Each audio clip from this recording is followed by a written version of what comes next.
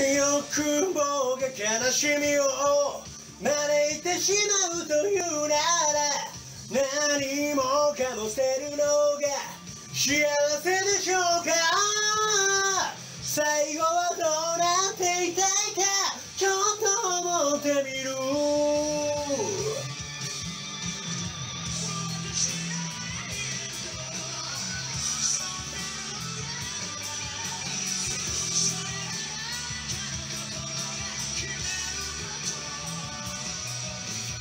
不滅のフェイスいつまでも輝いていたい。その瞳の奥の方で太陽のように焼き付け、まあ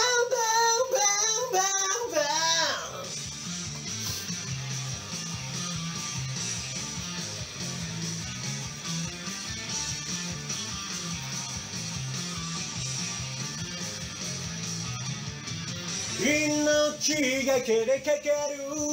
痩せた野生の馬のよう。に己の儚さ。知れば知ってるほど。息を飲むような綺麗な瞬間を生む。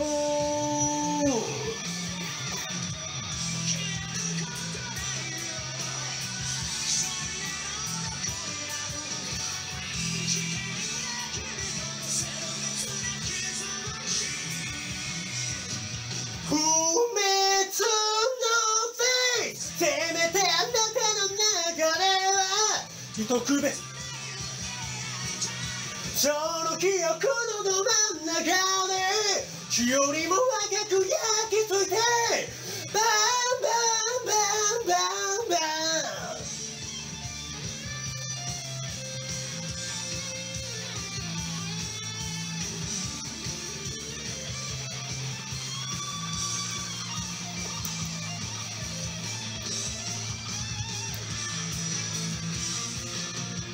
誰も彼もこの星も変わりながら生きてゆく。